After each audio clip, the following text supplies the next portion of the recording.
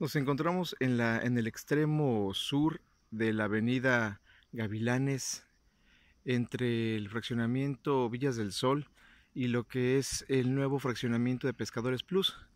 En este punto, eh, trabajadores de Lina, investigadores de Lina, han llegado porque presuntamente se encontraron vestigios mayas, vestigios que pueden pertenecer eh, a los a, pues a los antecesores que habitaron esta zona.